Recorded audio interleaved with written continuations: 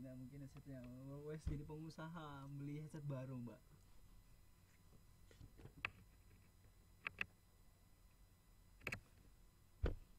Oh udah setengah jam ini kita jalan nih Saya speaker ya.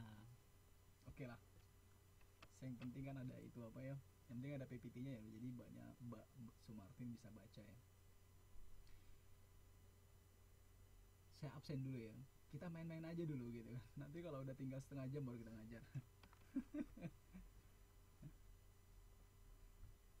Aduh, siap. Jika masih dengar kok, tapi kurang jelas. Oh, nggak apa-apa, Mbak.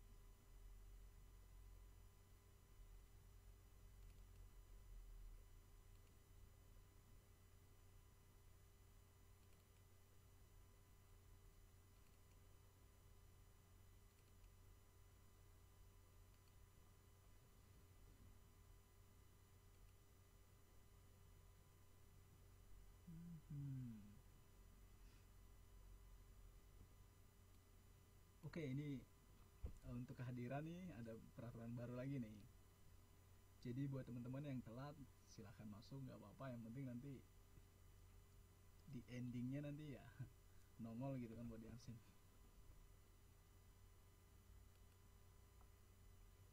Oke, langsung aja kita mulai mbak ya. Karena mengingat waktu juga udah berjalan 30 menit. Oke, jangan lupa nih buat teman-teman uh, tanggal 12 diusahakan supaya bisa uh, datang ke mana itu. Saya nggak tahu juga gedungnya di mana soalnya pertama kali ya. Nongol di akhir absen saja. Oke, nggak apa-apa. Yang penting tugasnya ngerti ya. Oke ya. Biasanya kalau yang nongol-nongol di akhir nih tugasnya agak ribet ya. Mending nongol dari awal ya.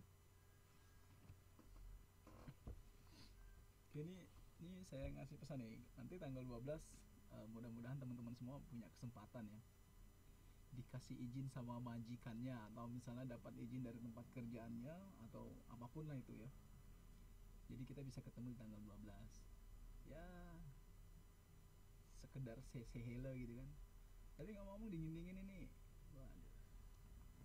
Suasana jadi malas ngajar ya pengennya makan indomie aja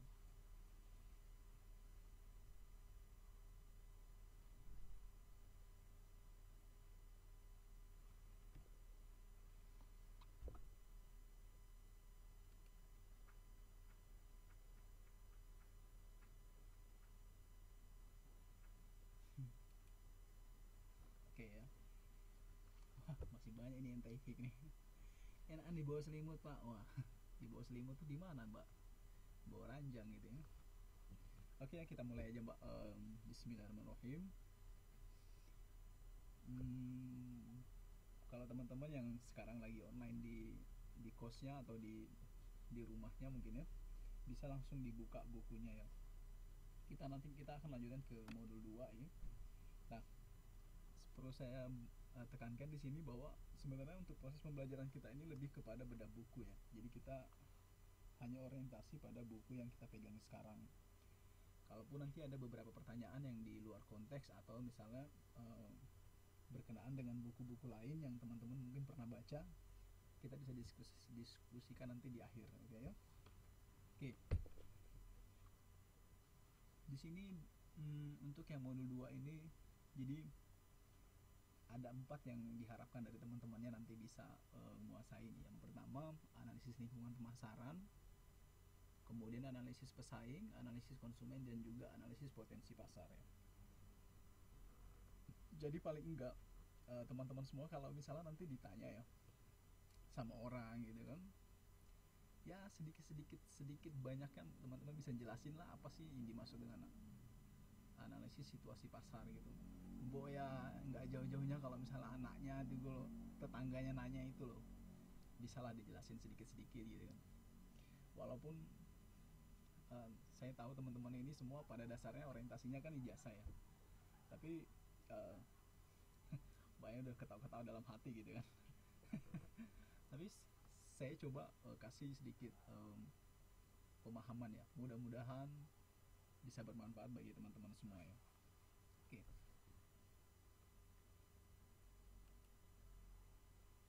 Oke. Analisis lingkungan uh, kita akan uh, mulai dari analisis lingkungan pemasaran ya. Oke.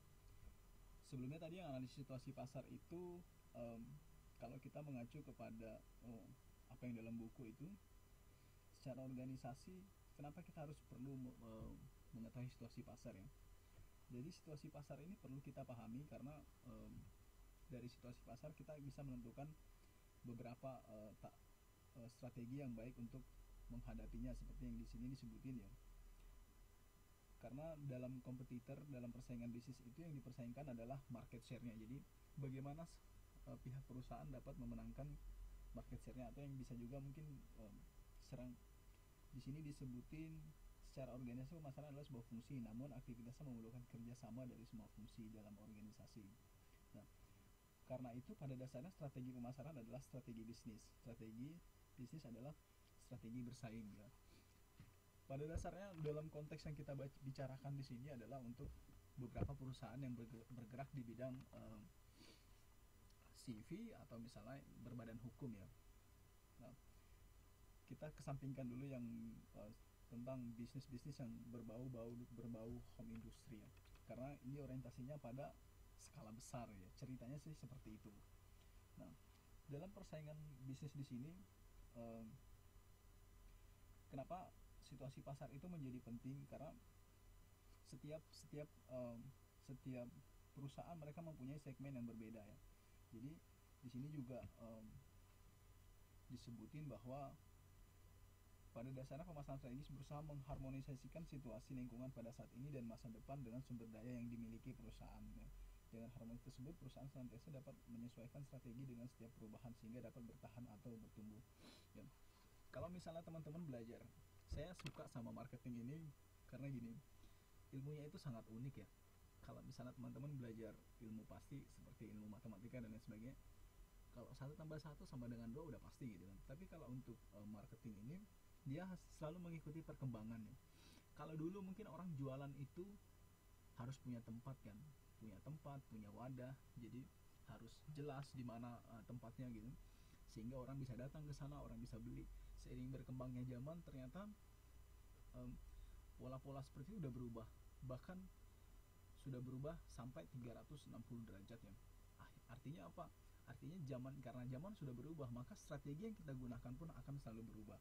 Nah mungkin sekarang yang yang lagi populer ini adalah um, internet marketing ya. Jadi mungkin teman-teman udah udah lihat banyak sekali jasa-jasa perusahaan yang melihat peluang ini. Seperti pengiriman barang. Mungkin teman-teman dari sini pernah pakai jasa untuk mengirim barang ke Indonesia ataupun dari Indonesia ke sini mungkin.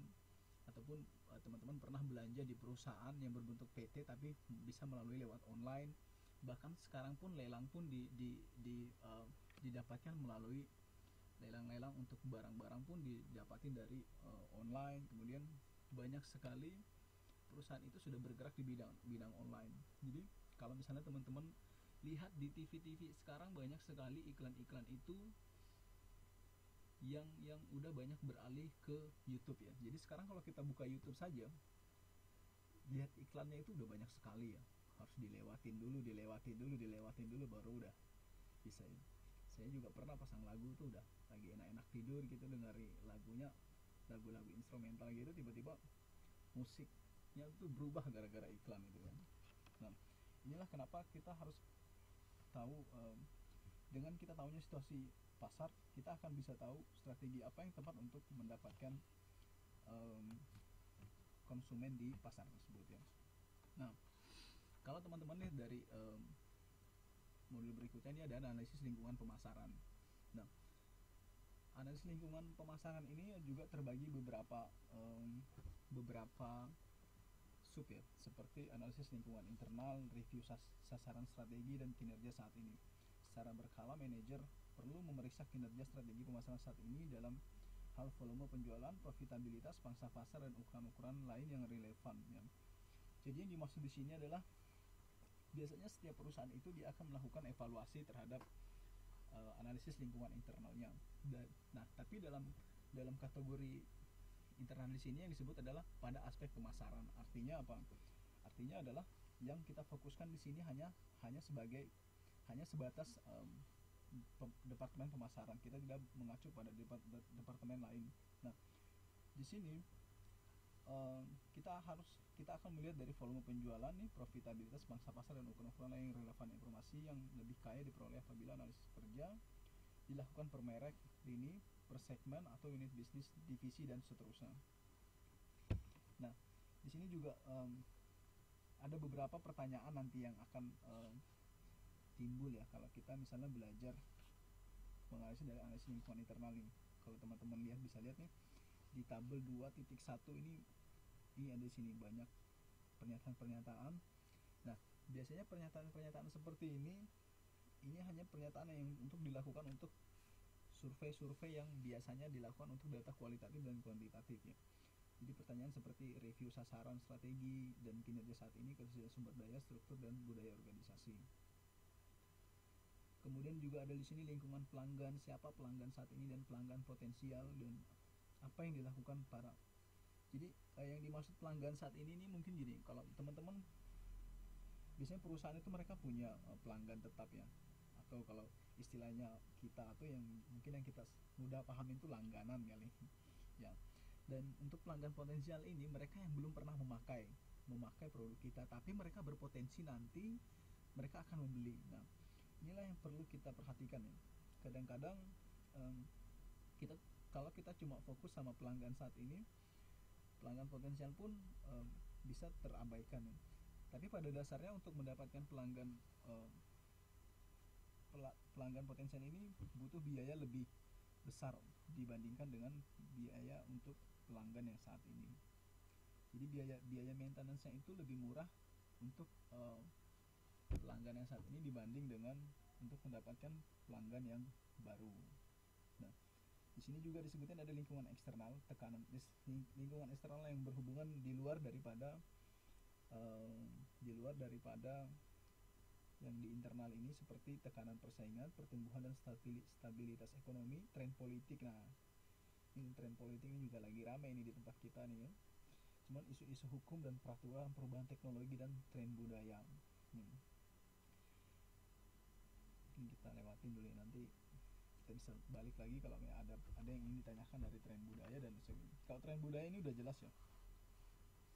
Biasanya tren budaya ini ya kalau sekarang fashion, kalau kalau kita berbicara fashion di tempat kita ya tren budayanya udah larinya ke pakaian-pakaian yang udah nggak itu lagi ceritanya um, bisa dibilang kayak sudah ya apa ya susah ini dijelasin ya tren budaya budaya budaya kebarat-baratan gitu cek cek cek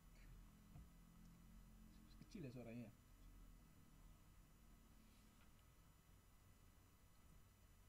Kemudian juga di sini um, untuk menganalisis, menganalisis lingkungan internal ada beberapa pertanyaan ya. Seperti yang pertama ini ada review sasaran, strategi dan kinerja saat ini ada beberapa pertanyaan nanti yang bisa um, di, di, di, dipraktekkan ya. Kalau seandainya tugasnya tentang ini nanti ya mungkin teman-teman bisa pakai beberapa pertanyaan ini hanya untuk menganalisis. Jadi nanti mungkin ya. Tren sekarang untuk busana muslimah adalah gamis syariah. Jadi gini.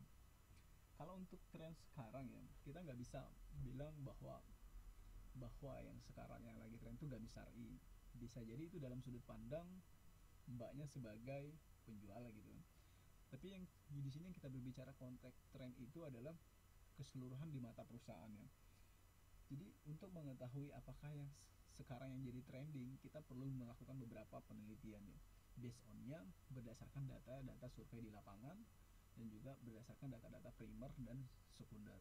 Jadi susah sekali untuk dijelasin kalau memang saling karena pada dasarnya sendiri tren di tempat kita itu fluktuatif ya. Ya. Bisa jadi gamisari dan bisa jadi juga bukan. Jadi masih kalau dibilang tuh sosok lah kali. Perlu uh, penelitian lebih dalam lagi ya. Kemudian di sini untuk berikutnya juga ada analisis lingkungan mikro. Nih. Analisis mikro ini terdiri dari lingkungan mikro dan lingkungan makro. Lingkungan mikro adalah pelaku-pelaku di luar perusahaan yang mempengaruhi kemampuan perusahaan mencapai sasarannya nah, lingkungan mikro ini seperti konsumen pesaing perantara pemasok dan pabrik. Nah, hmm. kenapa?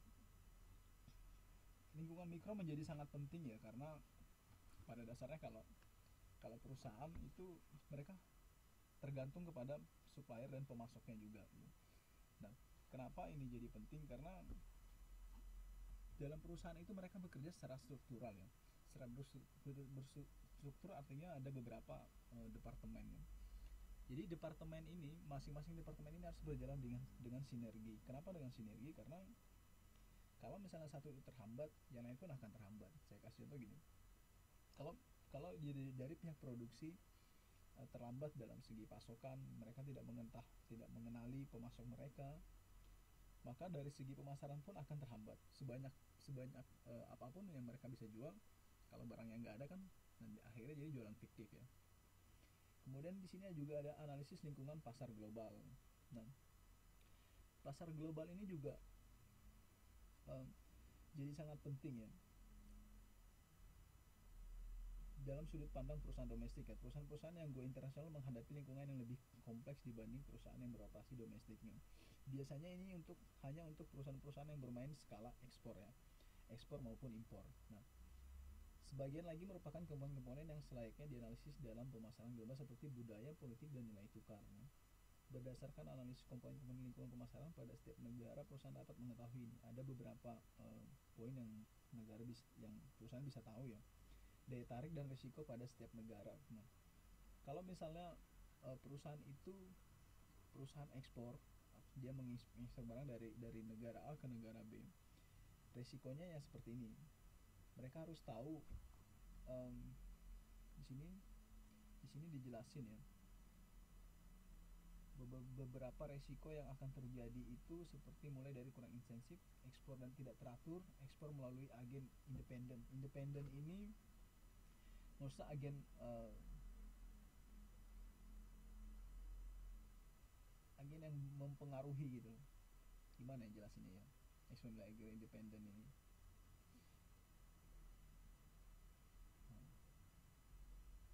hmm, saya kasih contoh ya. Gak ribet ini ngasih contohnya agen independen ini. Ya, saya tambahin dulu kalau gitu. Nanti kita back lagi ke sini Terus itu ada pembukaan satu atau beberapa kantor penjualan dan pembangunan fasilitas produksi di luar negeri. Nah, kemudian yang kedua persamaan dan perbedaan antar negara. Nah, di sini juga jadi sangat penting karena um, setiap negara negara A dan negara B itu memiliki kadang-kadang mereka punya um, budaya yang berbeda satu ya dan kadang-kala juga um, Pandangan ini dilatar belakangi munculnya perusahaan multinasional yang anak-anak perusahaannya beroperasi secara independen pada setiap negara. Hmm.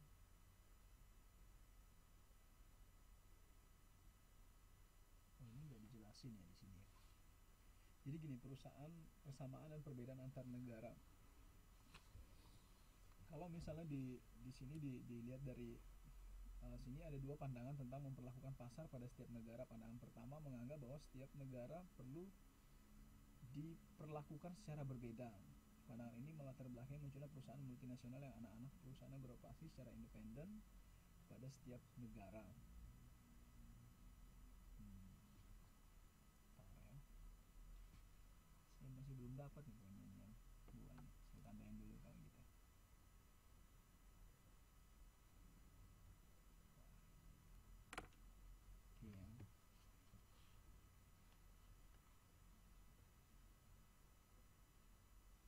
Alibaba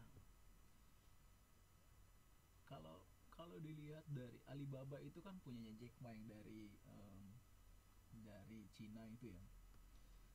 Nah Alibaba ini salah satu perusahaan e-commerce terbesar di sekarang sudah masuk bursa saham juga udah masuk di dunia ya. Masuk di indeks bursa saham ya. Tapi sepertinya independen pasar bukan pak termasuk agen bisa dibilang agen. Saya kurang tahu ya ini maksud agen independen itu seperti apa.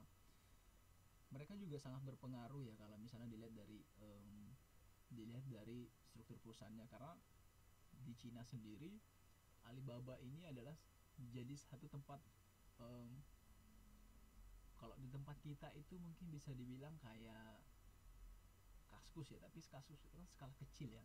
Nah Alibaba ini skala besar. Nah kalau di di di saya saya belum bisa pastikan ini ya, Alibaba ini independen ataupun bukan ya. Tapi kalau misalnya untuk pasar global yang agen di independen pasar global mungkin saja ya. Tapi saya belum pasti nanti saya coba um, coba cari tahu dulu ya. Karena Alibaba ini kalau kalau dilihat dari bentuk perusahaan mereka adalah perusahaan e-commerce yang bergerak di bidang online jadi kalau misalnya teman-teman pengen beli sesuatu lewatnya online. Saya nggak tahu ini bisa mereka bergerak sebagai agen ataupun bukan ya. Masih belum belum tahu ya. Jadi nanti saya kasih jawabannya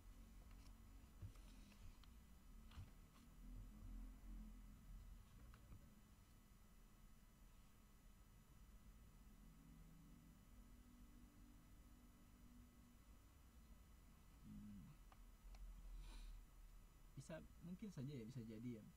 Pembayaran melalui agen Alibaba. Ya. Jadi bisa jadi agen Alibaba yang yang Mbak maksud itu benar tapi bisa jadi juga agen Alibaba ini agen-agen yang ditunjuk untuk pembayaran doang ya. Karena sekarang kalau di Alibaba ini mereka lagi lagi itu membuat satu sistem pembayaran. Kalau misalnya teman-teman pernah dengar namanya PayPal PayPal itu kan untuk Amazon ya. Tapi kalau Alibaba ini ada ada lagi namanya khusus untuk um, khusus untuk setiap barang kalau mbak mbak ini pengen beli dari Alibaba mereka pakai sistem pembayaran mereka sendiri. Saya lupa namanya itu apa nanti bisa lah dicek di internet itu ada. Tapi kalau misalnya dia agen ya saya belum bisa ngasih keterangan itu agen atau bukan ya. Oke. mungkin nanti kita cari lebih lau nanti kita uh, nanti saya coba cari yang lebih lanjut lagi ya. Apakah Alibaba itu termasuk independen ataupun bukan gitu? Nanti kita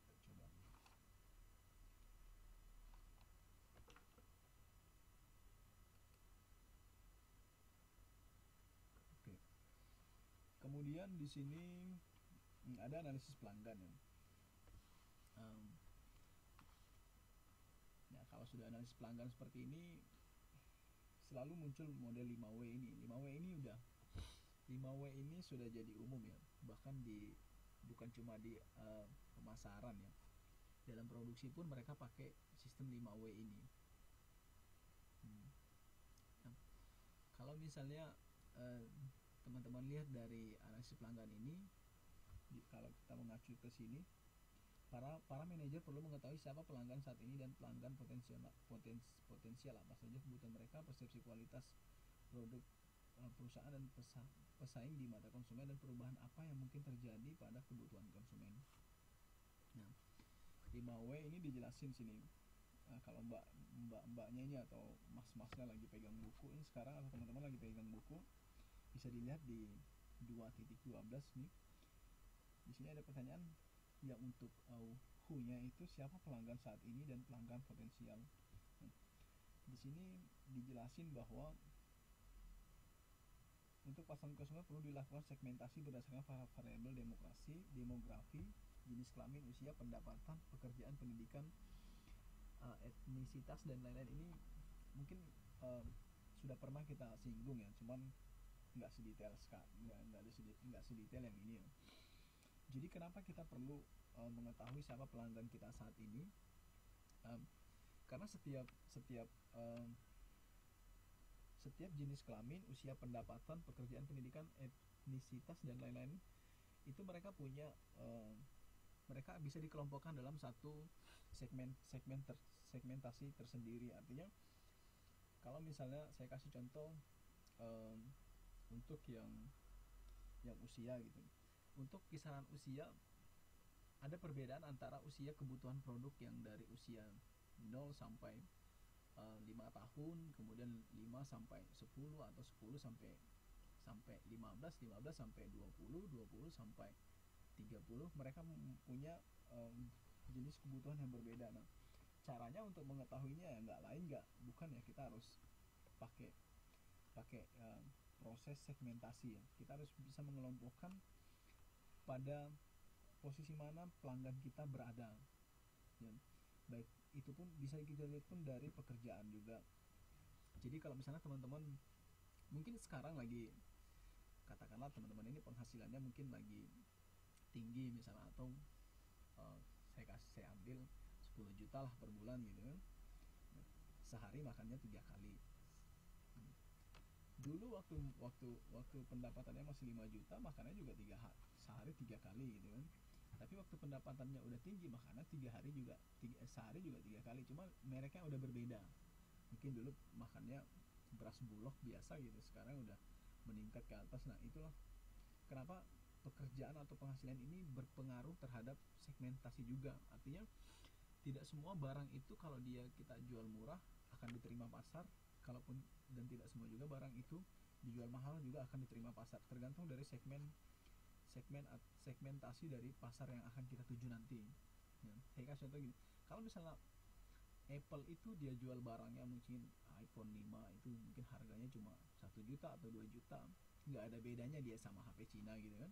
Android Android yang beredar di pasar. Artinya apa? Kalau misalnya eh, karena segmentasi eh, untuk Apple itu adalah kalangan high class gitu kan. Terus ada orang yang yang biasa pun dia bisa beli. Artinya nggak ada perbedaan kan? Nah di situ nggak ada prestis. Kalau kita mengacu ke teori Maslow nah ada aktualisasi diri paling pucuk itu ada lima tahapan manusia itu. Nah paling atasnya itu kan aktualisasi diri. Nah pada tahap itulah disebut segmentasi high classnya itu di situ. Kenapa kita harus tahu dari analisis pelanggan ini yang dari punya tadi? Kemudian apa yang dilakukan konsumen terhadap produk kita nih what lagi nih pembelian atau perilaku konsumen setelah pembelian purchase behavior setelah pembelian perusahaan perlu mengetahui kepuasan konsumen dan bagaimana konsumen memperlakukan produk. Sebenarnya kalau untuk yang 5W ini um, kita pakainya analisis ya sistemnya analisis analisis secara data. Kita bisa melakukan survei dalam bentuk kuesioner untuk mengetahui tingkat kepuasan konsumen kita ini terhadap barang yang ditawarkan barang ataupun jasa yang ditawarkan oleh suatu perusahaan. Nah nanti pun teman-teman akan bisa pakai uh, sistem ini untuk misalnya untuk bikin tesis eh sorry bikin um, skripsi ataupun karya ilmiah. Nanti mungkin variabelnya bisa teman-teman um, misalnya pengaruh harga dan produk terhadap kepuasan pelanggan pada produk A atau B sembarang lah seperti itu nah di sini juga sama teman-teman bisa pakai yang 5W tadi itu untuk yang kalau mengacu ke buku di sini um, di sini kan dijelasin untuk pasar konsumen perilaku pembeli setelah penjualan menyangkut perlakuan atas produk perawatan produk pembuat pembuangan produk apabila sudah tidak terpakai dan seterusnya perusahaan yang menggunakan kemasan botol perlu mengetahui bagaimana konsumen memperlakukan kemasan isi. Nah ini yang sudah dilakukan banyak perusahaan ya sekarang banyak banyak sekali perusahaan itu menerapkan sistem teknologi yang go green ya. Artinya apa? Artinya untuk barang-barang kalau minuman um, air mineral yang sekarang ini bahkan kalau misalnya botolnya pun dibuang dia akan mudah sekali terurai dengan tanah ya. Seiring dengan waktu. Tidak seperti dulu dia akan jadi limbah. Nah ini pun jadi pertimbangan bagi um, bagi konsumen ya untuk kontribusi mereka terhadap lingkungan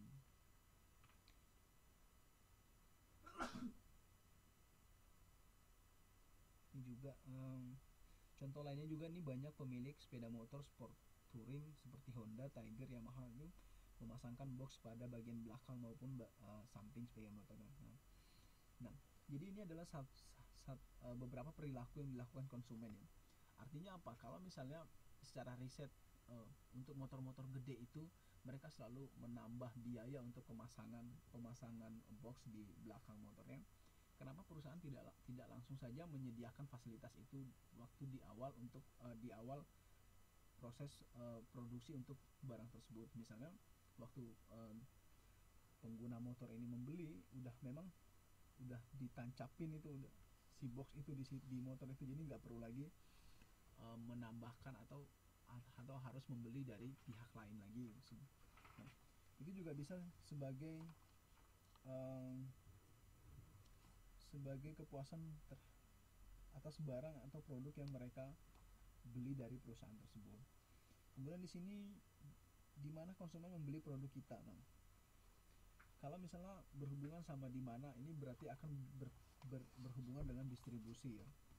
Nah, di sini dijelasin pertanyaan ini berkaitan dengan distribusi tempat pembelian produk dapat dibagi menjadi non-store, retailing, MLM, door-to-door, selling, personal selling, elektronik, komersial dan lain-lain maupun storytelling. Wah, ada MLM juga ya. Eceran toko sendiri dapat dibagi menjadi eceran tradisional dan eceran modern. Ya. Sepertinya ini agak jelas sekali ya, bisa dipahamin dan mudah untuk di, ya. Kemudian ada kapan pelanggan membeli produk yang nggak pasti ya waktu gajian ya, nggak mungkin ya. Tapi di sini kalau kalau dari segi survei ya, yang dilihat oleh pelanggan di sini adalah um, kapan di sini itu untuk produk-produk yang bersifat musiman. Jadi hmm, kadangkala eh, musim itu juga sangat berpengaruh terhadap penjualan penjualan dari produk itu sendiri ya. Banyak produk yang penjualan bersifat musiman. Musim dimaksud ini bersifat bulanan, mingguan maupun harian. Payung dan sepatu lumpur adalah produk yang memiliki siklus penjualan bulanan. Ya, ini sepertinya juga mudah sekali yang dipahami ya. Kemudian mengapa dan bagaimana konsumen memilih produk kita? Why and how? Ini pertanyaan lain berkaitan dengan benefit apa yang konsumen disebut point of selling memilih produk kita agar lebih akurat perlu juga diketahui kenapa konsumen tidak memilih pesaing kalau uh, untuk yang poin E ini um, biasanya konsumen itu kalau dia membeli produk itu uh, ada beberapa kebiasaannya mereka ya. Dulu saya punya pengalaman kerja di um, kerja di supermarket ya. Jadi di, di supermarket ini kebetulan saya bagian pengawas CCTV ya. Kalau teman-teman pernah ke supermarket atau ke retail retail gitu ya pasti teman-teman nanti bakal lihat nih di atas kepala itu banyak sekali itu CCTV hmm. bagi mungkin teman-teman akan beranggapan bahwa CCTV itu ditujukan untuk mengawasi pengutit ya atau maling yang coba um, cari cari-cari kesempatan untuk mencuri produk-produk dari perusahaannya tapi sebenarnya pada dasarnya CCTV itu di atas yang dipasang-pasang di di retail itu itu ditujukan bukan untuk pengawasan maling ya itu ditujukan hanya untuk mengetahui uh, istilah itu customer behavior perilaku konsumen. Saya kasih contoh gini. Um, kalau dari CCTV itu mungkin teman-teman kalau masuk retail itu selalu melihat kenapa sih tatanan dari um, dari retail itu selalu berubah. Kalau dulu bulan eh, bulan lalu waktu ngambil barang tuh adanya di sini kok bulan berikutnya udah bukan di sini lagi ya udah dipindah ke sebelah sana. Nah, biasanya perusahaan akan melihat uh, behavior behaviornya dari uh, konsumen. Contohnya gini. Kalau ada ibu-ibu itu datang terus dia ngambil barang barang di tempat di rak A gitu kan dia ngambil barang diputer-puter diputer-puter bisa jadi dia tuh ada ada banyak sekali kemungkinan yang dia cari itu. Contohnya misalnya dia ngambil um, saya kasih contoh sampo ini sampo itu dia pegang terus itu dia putar-putar dia putar-putar dia putar-putar. Terus ditaruh lagi di rack itu nggak jadi dia beli. Nah dari situ si pengamat kamera ini akan melihat apakah yang dia putar itu karena dia nggak bisa jadi dia nyari dari expirednya ataupun mungkin dia lagi cari harganya atau harganya yang nggak ada di situ tercantum.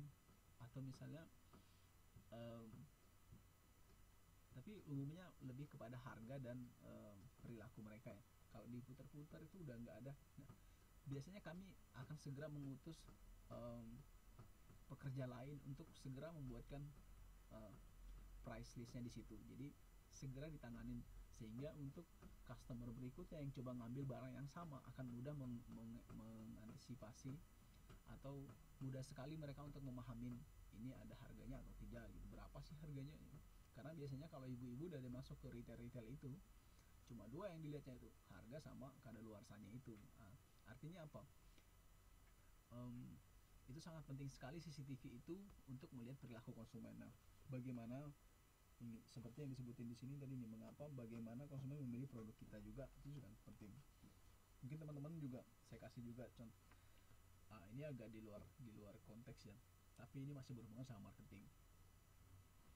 Kalau teman-teman pernah ngantar anaknya atau sepupunya gitu kan selalu lihat kenapa sih pajangan pajangan untuk eh, barang itu khususnya untuk barang anak-anak itu kalau di matahari dan di mana di store-store baju gitu kan fashion selalu ditaruh di paling atas ya. Lantainya itu kalau misalnya tempat belanja itu ada tujuh lantai mungkin tempat baju anak-anak itu ada di lantai tujuh. Nah di situ itu juga salah satu strategi. Kenapa kenapa itu disebut strategi? Gini anak kecil itu dia nggak mungkin datang ke mall itu dia belanja datang sendiri kan sudah pasti dia ditemani sama keluarganya atau bapaknya atau siapa pun itu kakaknya dan lain sebagainya. Nah awalnya yang yang jadi prioritas adalah untuk si anak tadi ya.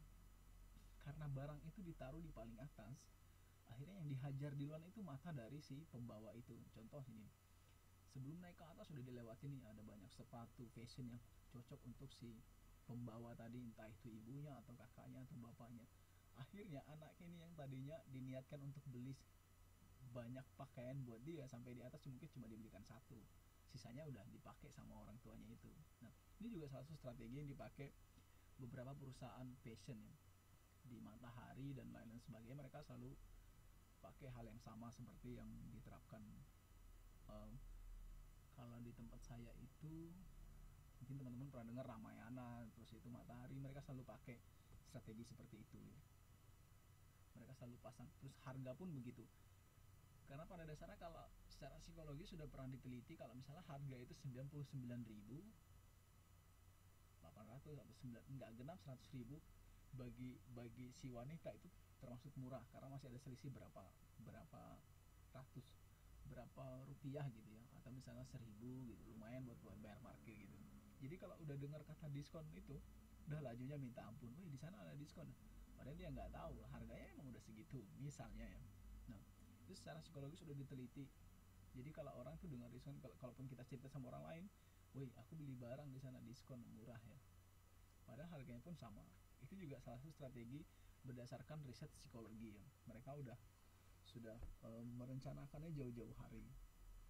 Nah itu juga satu strategi pola pembelian itu juga bisa jadi bisa jadi bagaimana mereka membeli produk itu.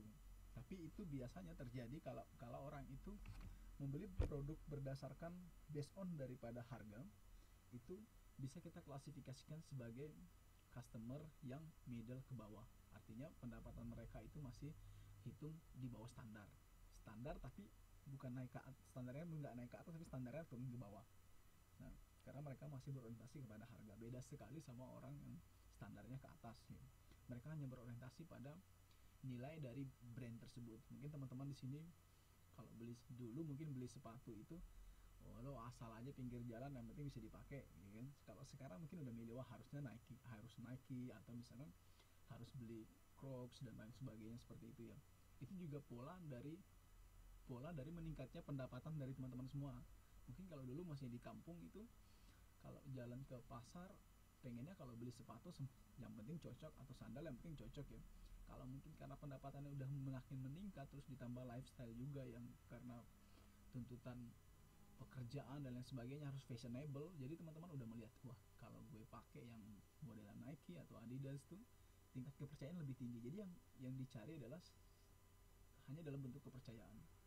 Sama halnya kalau kita pegang HP gitu kan kalau misalnya cuma yang dipegang itu um, Samsung atau misalnya Samsung yang kategori kategori di di bawah S4 gitu kalaupun dia bunyi itu ngangkatnya itu sembunyi-sembunyi itu apalagi Mito itu pasti udah sembunyi di bawah meja tuh ngangkat ngangkat itu HP tapi kalau misalnya um, kalau misalnya teman-teman pakainya iPhone gitu kan ngangkatnya itu jangan kan di, belum bunyi aja udah diangkat duluan gitu kan saking niatnya. Niatnya apa? Nilainya nilai niatnya karena ingin diakui secara secara status secara status sosial. Nah di situlah kenapa kalau misalnya teman-teman beli produk casing itu entah itu uh, untuk HP yang untuk iPhone ya selalu di, di, untuk logo dari Apple yang Apple digigitnya itu Apple tergigit itu istilahnya gitu kan selalu ada bolongan khusus space untuk uh, untuk gambar logo Apple itu. Mereka dia nggak nutup langsung semua nggak seperti HP-HP Android ya mereka selalu nutup karena mereka udah tahu uh, segmentasi mereka adalah untuk high class untuk uh, customer yang high class ya. Sehingga yang bolong-bolong itu harus ditampilkan. Yang mereka beli adalah hanya nilai dari brandnya nilai merek itu bukan nilai fungsinya. Kalau fungsi apa ya? Bluetoothnya bluetoothnya aja nggak ada nggak ada kan gitu. Jadi ngirim foto pun kita susah kalau pakai iPhone gitu. Terus baterainya juga nggak tapi tahan lama. Tapi peminatnya banyak karena mereka hanya mencari dari nilai brand itu nah itulah. Itu juga bisa diklasifikasikan sebagai why and how. How? Kenapa mereka? Apa sih poin poin selling mereka membeli produk tersebut? Kemudian di sini yang F juga hmm, kenapa konsumen potensial tidak membeli produk kita? Nah, di sini kalau ya, teman-teman lihat nih banyak alasan kenapa pelanggan potensial tidak membeli produk kita nih. Kebutuhan dasar konsumen tidak dipenuhi produk. Mungkin produk tersebut tidak merepresentasikan apa yang mereka mau ya. Yang kedua produk tidak memenuhi gaya hidup maupun citra dari image pelanggan. Ini seperti yang saya bilang tadi ya.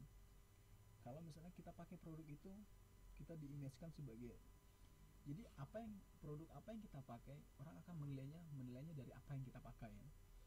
Jadi eh, saya dulu pernah uh, diskusi sama dosen saya kebetulan juga lulusan dari Inggris gitu kan orang, orang marketing juga. ya.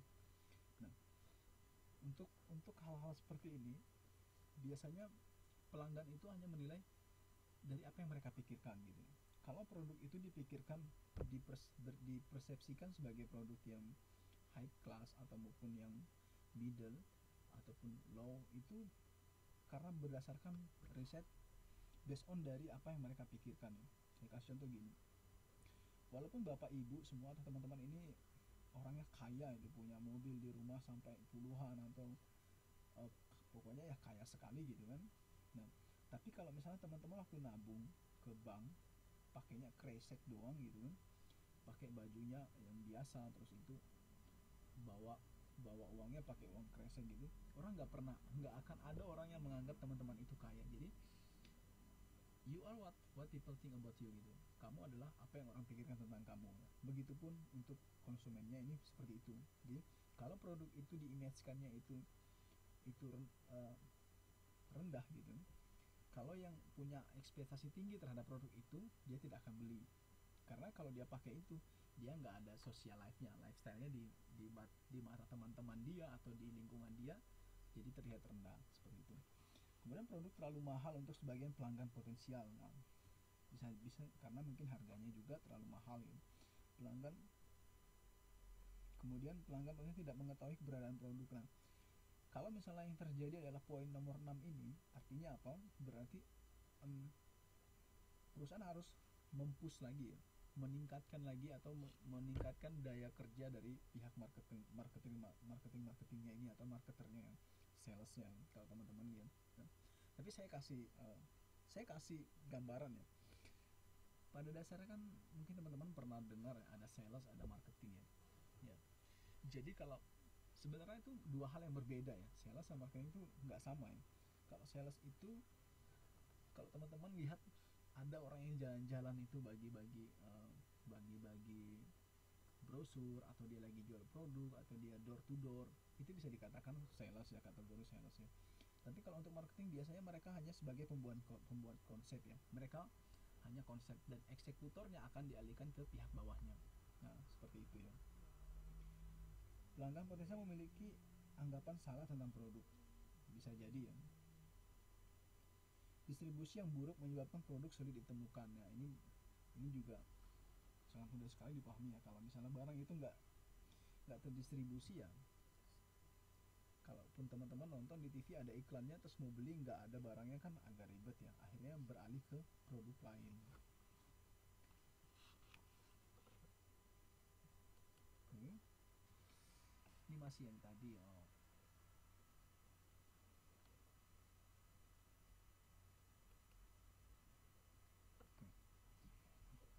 Ada analisis situasi persaingan.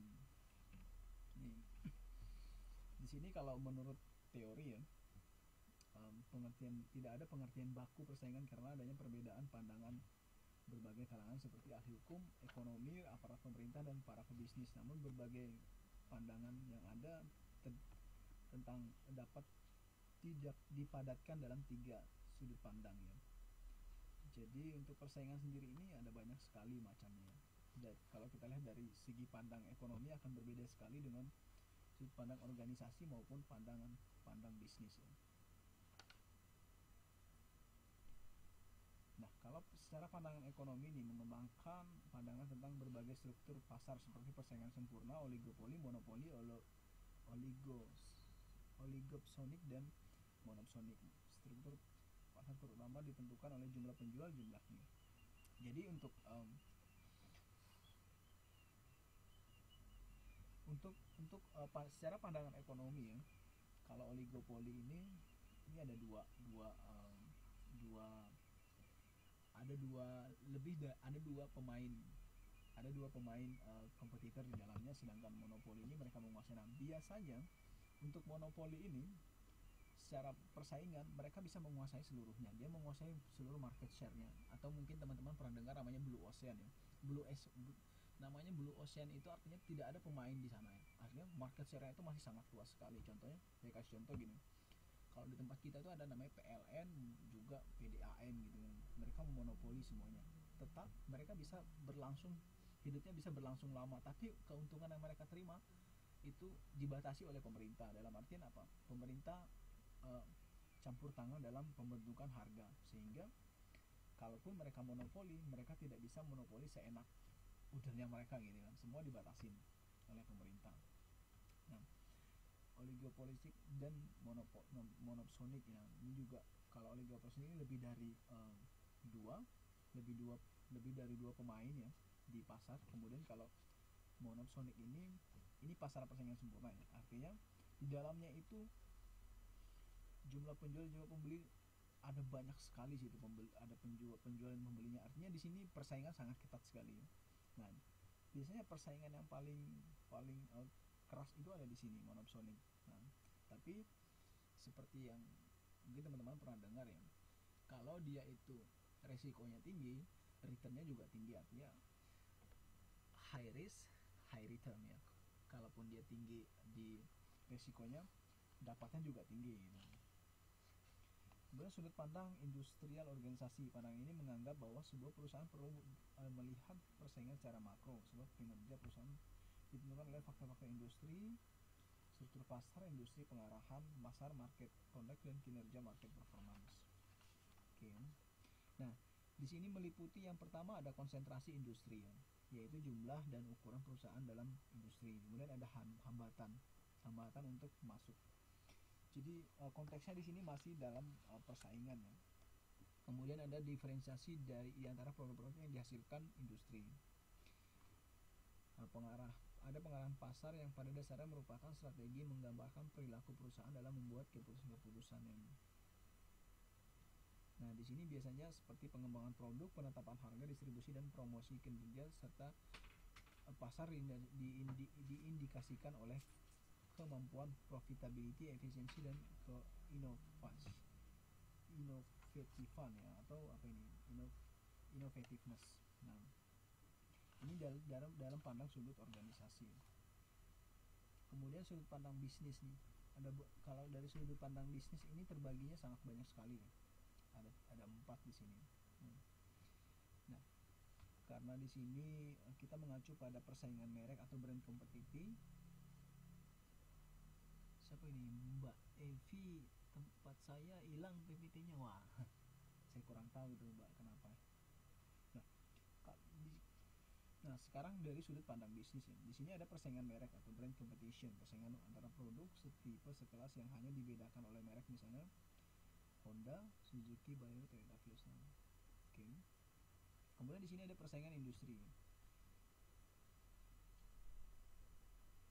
Yaitu persaingan antara produk tidak setipe atau tidak um, tidak sekelas ini ini kategori untuk um, perusahaan nih.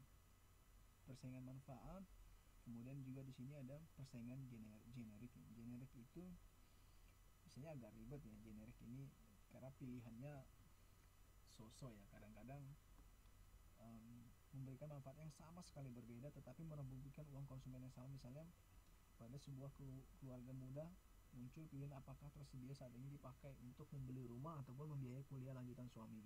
Nah, saya kasih gambaran sederhana kebetulan dulu saya kerja itu bagian ini persaingan generik ini. Jadi waktu itu saya kerja di bank BTN ya. Kan kita jual-jual rumah gitu kan jual-jual rumah yang kategori untuk PNS gitu.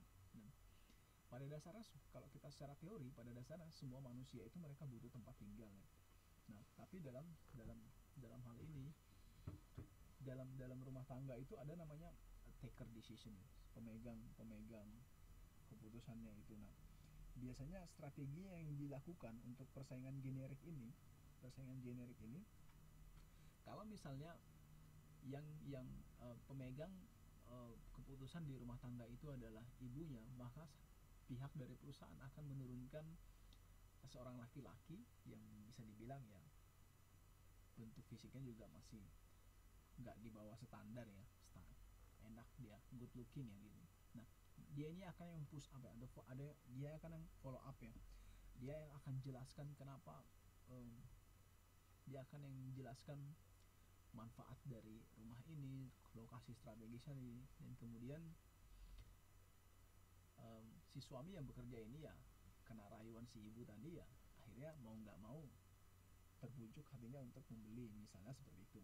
Kalau begitu juga sebaliknya kalau pemegang keputusan itu di suaminya biasanya pihak perusahaan akan mengirim seorang wanita ya. Nah tapi di sini di dalam artian bukan konotatif secara negatif ya.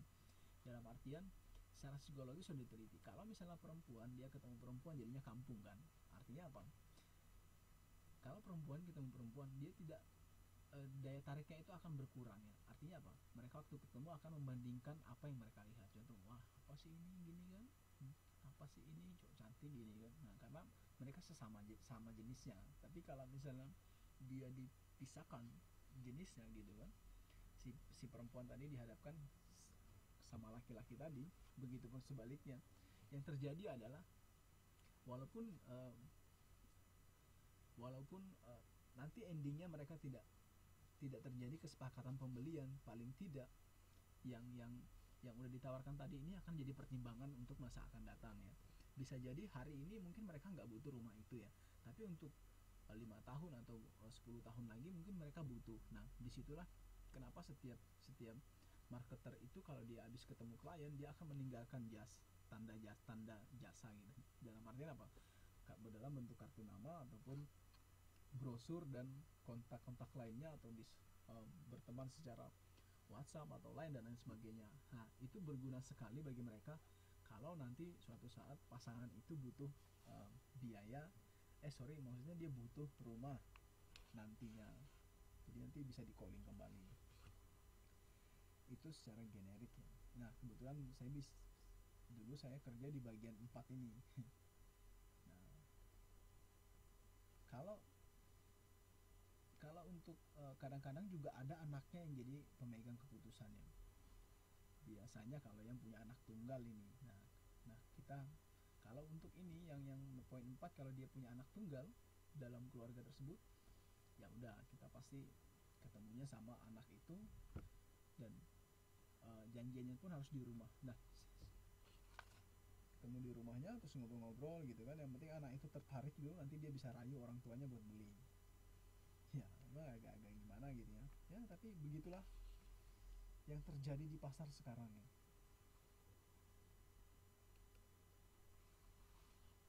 Kemudian ada intensitas persaingan ya faktor-faktor yang mempengaruhi persaingan itu banyak sekali ya. Seperti potensi kesempatan hambatan masuk sifat produk hambatan keluar ya. jadi bahkan kita udah masuk dalam dalam siklus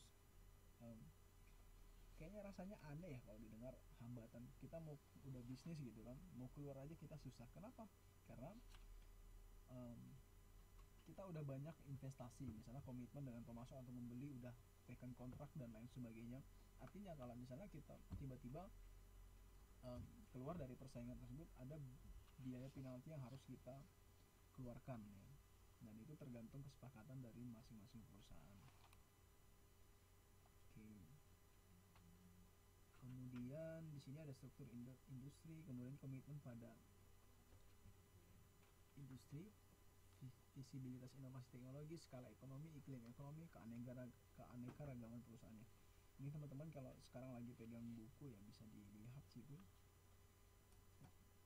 jelas sekali ya sini apa yang disebut dengan aneka keragam perusahaan ada skala ekonomi dan lain sebagainya next lagi oke okay. okay.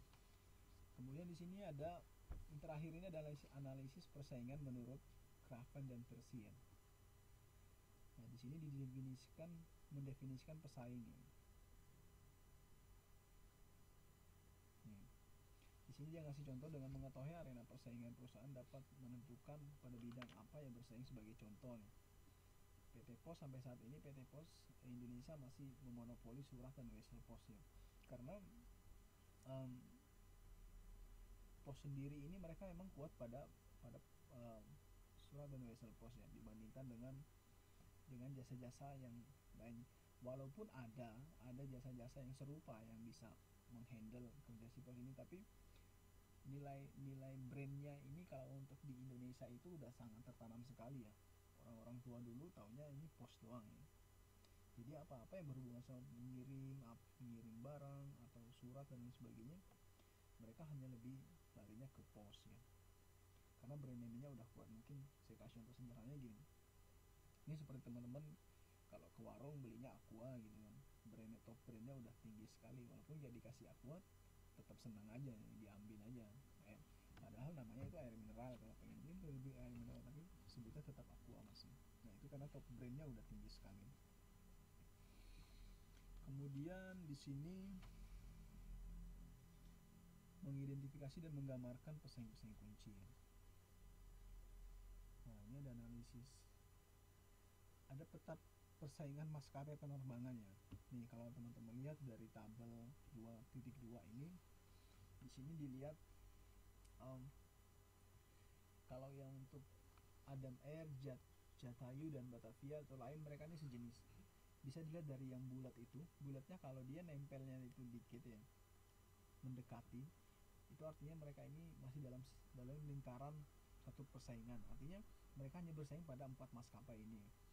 Kalau misalnya yang Star Air tadi dia masih dalam satu kolom yang boxnya ini, mereka bersaing tapi segmentasi segmen konsumen masih terlalu jauh. Nah, di sini Garuda pun seperti itu ya.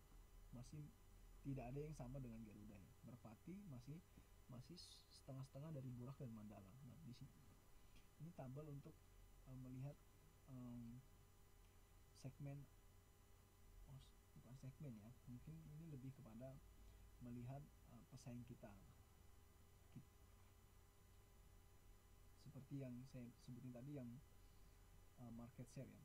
Jadi market share di sini terlihat bahwa kalau untuk uh, Adam F, Jatafu mereka adalah satu market share. Artinya kalau misalnya ada 100 mereka harus bagi 4 ya.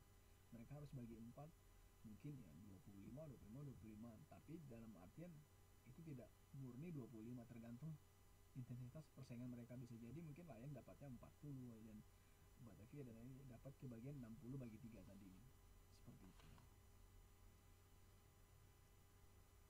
hmm.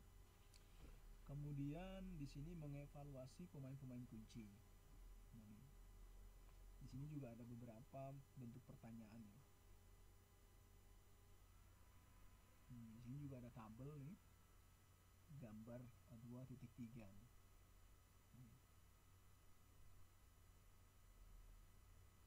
kalau misalnya teman-temannya dari franchise perusahaan yang masuk pada tipe ini memiliki profitabilitas pertumbuhan lebih tinggi dari rata-rata industri.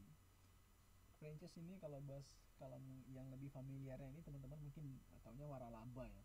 Nah jadi waralaba itu bisa juga disebut sebagai franchise terus ada harvest perusahaan-perusahaan pada tipe ini memiliki profitabilitas di atas rata-rata industri tetapi bertumbuh dengan tingkat pertumbuhan di bawah rata-rata industri. Maksudnya adalah gini perusahaan. HPS dalam artian e, mereka punya e, profit yang tinggi ya. Di, di di atas rata-rata pun bertumbuh dengan tingkat pertumbuhan di bawah rata-rata kemudian unprofitable growth merupakan kategori di mana perusahaan memiliki profitabilitas di bawah rata-rata industri tetapi dengan pertumbuhan di atas rata-rata industri. Gimana ini?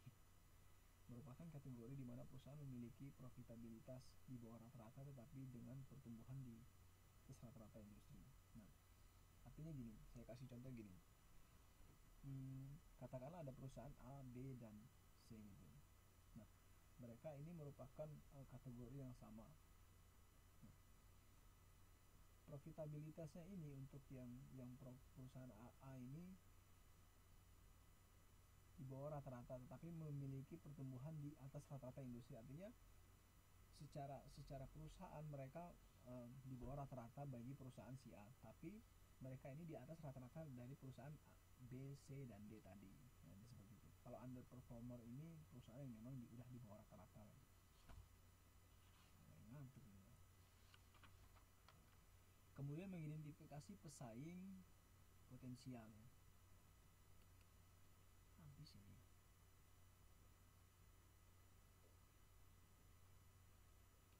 oh masih ada mengidentifikasi pesaing potensial ya. Nah di sini kalau di sini secara global para praktisi bisnis tahu bahwa pesaing utama Toyota adalah General Motor GM GM ini dari namun menurut pengakuan petinggi Toyota pesaing mereka adalah Hyundai. Mas Hyundai yang mampu membuat otomobil dengan harga masuk akal. Kalau di di Indonesia ini banyak sekali ya kalau untuk otomotif ini. Ada Honda, Toyota dan lain sebagainya ya. Sama-sama dari perusahaan Jepang. Ada empat sumber utama pesaing barang yang perlu diwaspadai. Di sini disebutin pertama eh, perusahaan yang bersaing pada produk terkait. Seperti betadin termasuk merupakan terkait dengan kesehatan rongga mulut. Namun sampai saat ini merek tersebut baru membuat antiseptik rongga mulut. Kemudian di sini yang kedua perusahaan dengan teknologi terkait. Jadi yang pertama tadi itu ada perusahaan yang bersaing pada produk terkait ya. Artinya produk yang sama kemudian uh, dengan teknologi yang sama dan lagi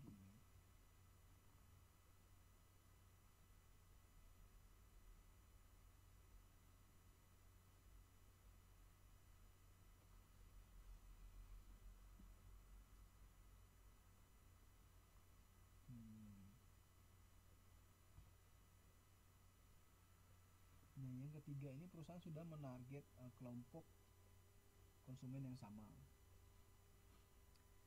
Ini biasanya untuk uh, mengidentifikasi pesaing potensial. Jadi kalau teman teman-teman bisa lihat dari dari dari apa ini dua dari halaman 2.28 ini ada empat ya. Yang keempat ini perusahaan yang beroperasi pada wilayah geografis yang berbeda tapi memasarkan produk yang sama ya ini contohnya seperti perusahaan yang uh, berada dari wilayah lain ya. Dari wilayah lain. Jadi ini geografis berbeda tapi memasarkan produknya juga sama. Artinya produk yang dijual sama-sama kategori yang sama. Misalnya untuk otomotif dan juga otomotif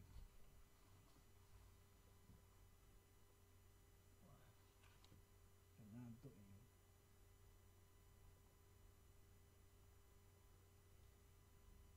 oke sepertinya hmm, untuk analisis potensi pasar ini mengestimasi ukuran pasar.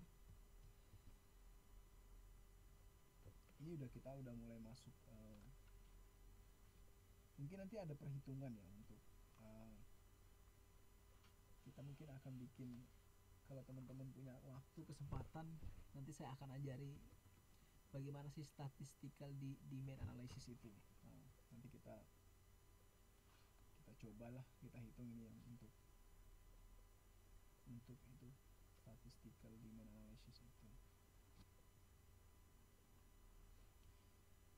Kemudian ada analisis apa ini analisis?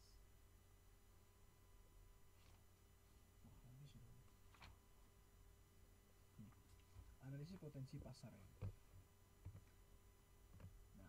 pasar ini yang pertama mengestimasi ukuran pasar yang judgement ini.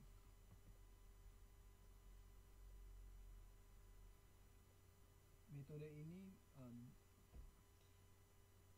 biasanya tidak itu ya tidak pasti dan tidak pasti dalam artian kalau kita misalnya menganalisis pasar hanya berdasarkan judgement doang ya kita tidak punya data yang kuat ya resikonya juga tinggi.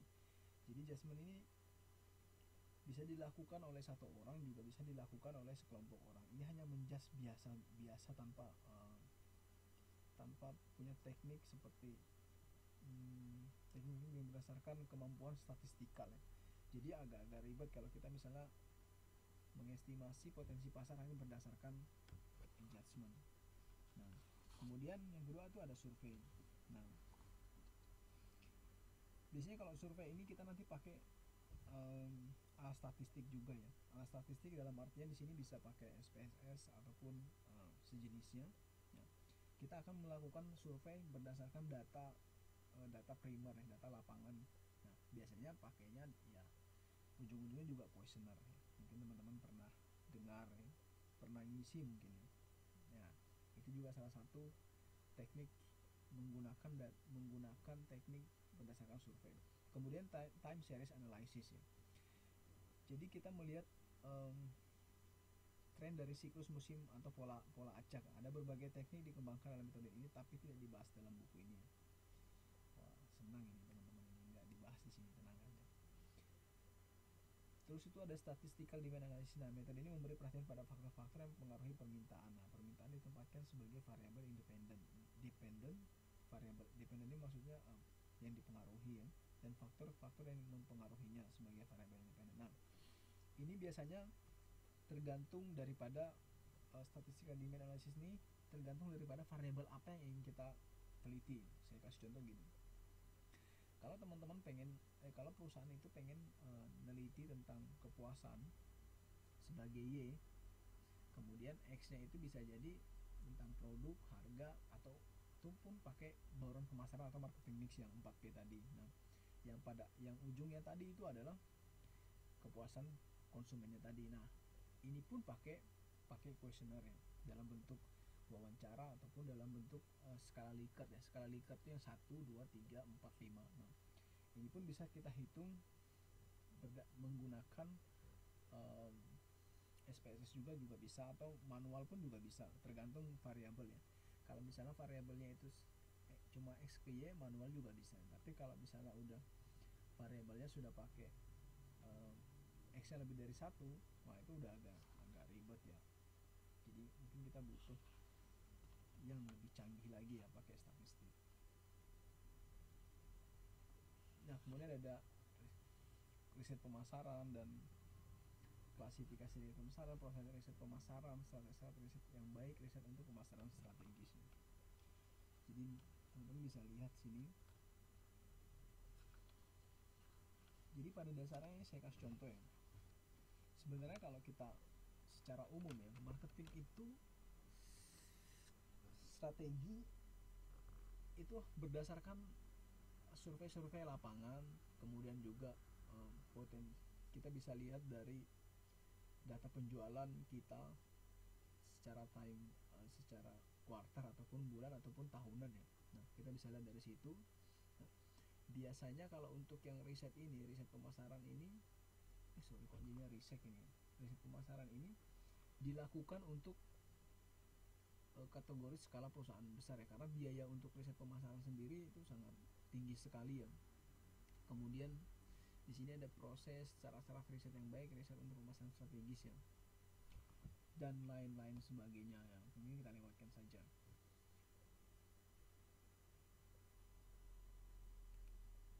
Wah habis ini 8 slide aja ternyata. Oke ya mungkin uh, sekarang saya akan buka diskusi ya. Yang yang lagi tidur bangun lagi lah. Ya bangun bangun bangun udah hujan-hujan ini enak tidur ini.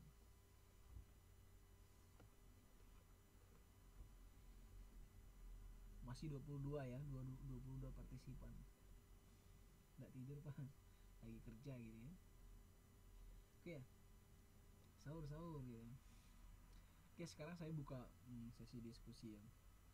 Jadi teman-teman kalau pengen bertanya dari yang buku based on dari buku tadi nanti kita bisa bahas sama-sama dan kita cari pemecahannya bersama-sama.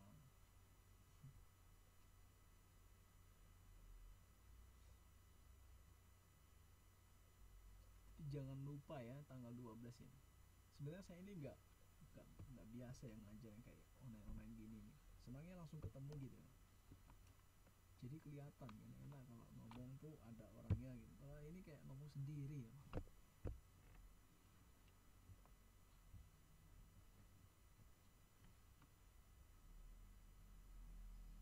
Saya ada kabar baik nih buat teman-teman semua nih. Nggak tahu ini teman-teman ini anggapnya baik atau buruk ini ya. Untuk tugas nih belum ada ya. Jadi tugasnya nanti setelah tanggal uh, jadi tugas nanti akan saya kasih setelah tanggal 12 ya setelah pertemuan tatap muka itu. Nah tanggal itu. Baru ada akan ada tugas. Jadi kalau untuk sekarang masih belum belum ada tugas. Jadi teman-teman bebas. Masih. Nggak tahu itu kabar buruk atau kabar baik ya. Siapa nih? Puji Rahayu. Oke selamat malam mbak. Hmm.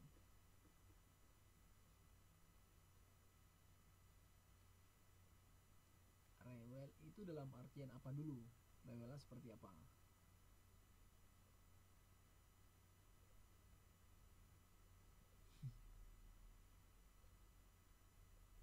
Banyakkan penjualan online ini di sini jadi ribet ya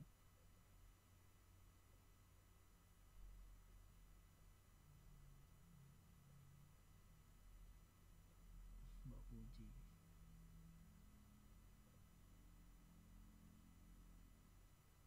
jelasin dulu mbak. Itu rewelnya itu rewel seperti apa dulu? Kadangkala rewelnya konsumen itu bisa jadi riset buat buat um, perusahaan. Karena yang tahu persis yang tahu persis um, keadaan produk itu sisi pengguna tadi itu atau stakeholdernya itu. Jadi kalau mereka itu rewel rewel rewel rewel gitu kan nanti kan kita bisa tanya apa sih yang kurang dari produk itu? Entah dia kurang dari pelayanannya diposisikan sehingga itu pun bisa jadi bahan evaluasi bagi perusahaan. Kalau terlepas daripada dia potensi atau enggak bisa jadi setelah kita penuhi apa yang dia mau jadi potensi dan bisa juga enggak tergantung jenis rewelnya itu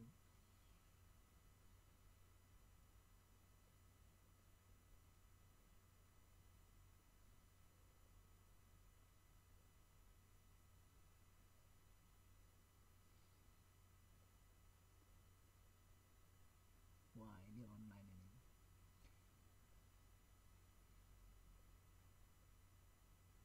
kalau memang kalau seandainya um, ini buat Mbak Puji ya. Kalau seandainya yang yang rewel itu ditaruh di posisi pertama terus yang yang yang posisi berikutnya itu ditaruh pelanggan yang di yang pada yang biasanya Mbak Puji jual jual barangnya itu sebenarnya nggak sebenarnya nggak tapi masalah ya. Selama yang lain itu juga bisa bisa terima aja karena saya pikir kalau untuk balas balas chat juga itu nggak butuh waktu lama kan. Bisa bisa jadi dia jadi potensial juga bisa jadi. Tapi tergantung pada um, bisa dilihat dari jadi disesuaikan sama customer lainnya. Kalau misalnya dilihatlah yang mana yang paling rewel-rewel itu di diutamain aja dimasukkan di posisi pertama dua dan dan sebagainya. Mbak Sumartin ya? Pak sering kali Matahari dapat transfer mengadakan promosi dengan cara memberikan bonus-bonus yang lumayan banyak. Strategi apakah yang digunakan dalam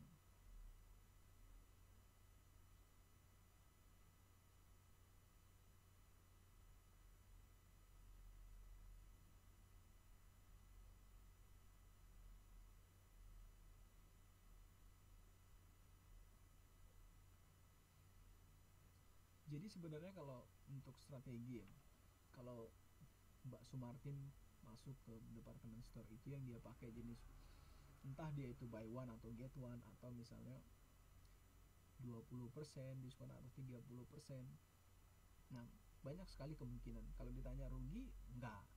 Kalau ditanya untung iya. Kenapa begitu?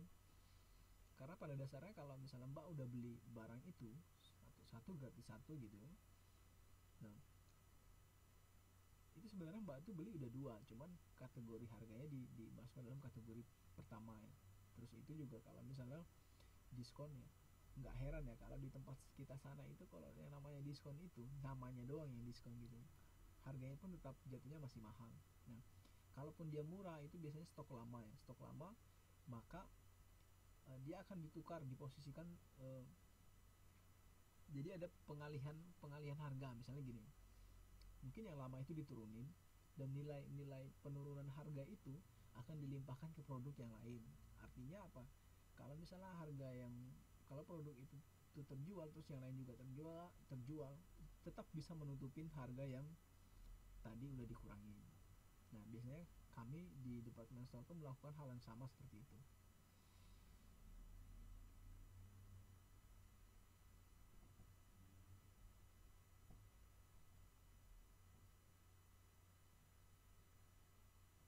ya buat Bu Kartini kadang kala seperti itu ya mereka menghabiskan stoknya karena kita melihat dari segi uh, inventory ya kalau barang itu tetap dipertahankan di gudang ada biaya yang harus kita keluarkan ya untuk biaya maintenance atau biaya perawatan dari produk-produk tersebut. Sehingga uh, kalau misalnya dijual murah itu biasanya pun jatuhnya tidak rugi. Atau mungkin teman-teman pernah dengar namanya BEP ya break even point itu dijualnya nggak rugi juga nggak untung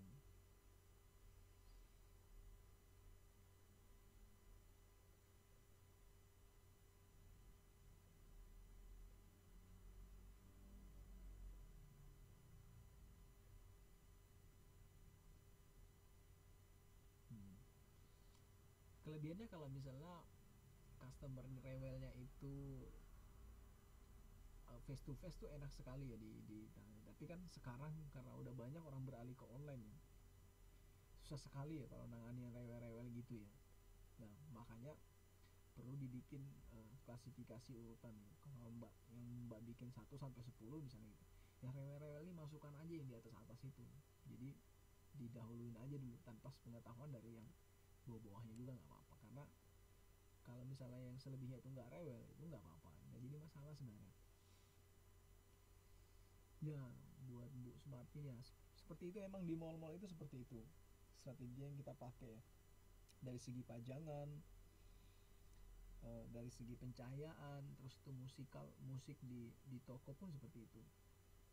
Mungkin kalau teman-teman masuk ke mall itu lagunya itu lagu-lagu instrumental ya nggak ada musiknya nggak ada liriknya kadang-kadang ya. Tapi kadang-kadang juga ada tergantung pada situasi saat itu. Jadi kalau kalau di kalau saya dulu pengalaman itu di di Kemudian kan saya juga megang untuk yang bagian ngomong-ngomong tuh yang di toko ya. Biasanya biasanya saya pegang mic tuh masih tahu ke ke mana? Ke konsumen kalau misalnya kita lagi ada promo mungkin teman-teman pernah masuk toko terus dengar orang-orang ngomong gitu.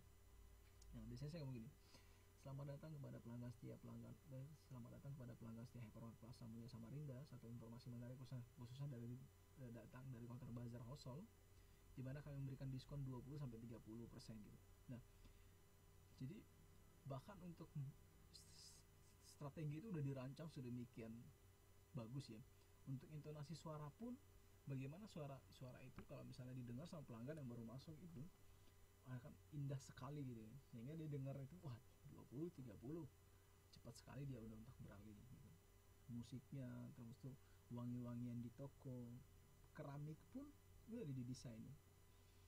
makanya kalau teman-teman kalau misalnya jalan ke tempat beli baju fashion gitu di sama toko-toko retail itu susunan keramiknya itu berbeda jadi gini kalau di di toko-toko gede itu eh sorry ini untuk yang yang uh, tempat retail entah teman-teman beli buah atau beli apa sih keramiknya itu biasanya dia lebih kecil ya ukurannya dibanding kalau teman-teman ke toko yang untuk fashion.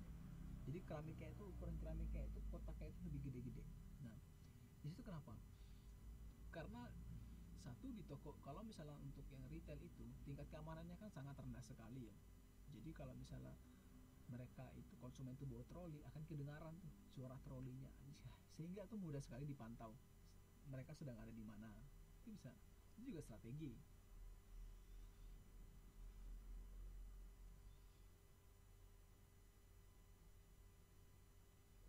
Oke. Masih ada pertanyaan lagi nih? Ini ada 20 20 berapa 22 ya? Di sini ada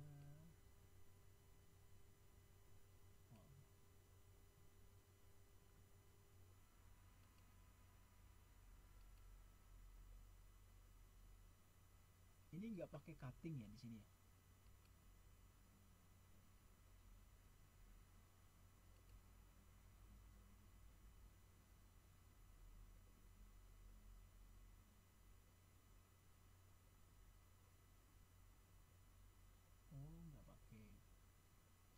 saya absen dulu ya. Udah mau absen ini temennya yang tidur bangunin ini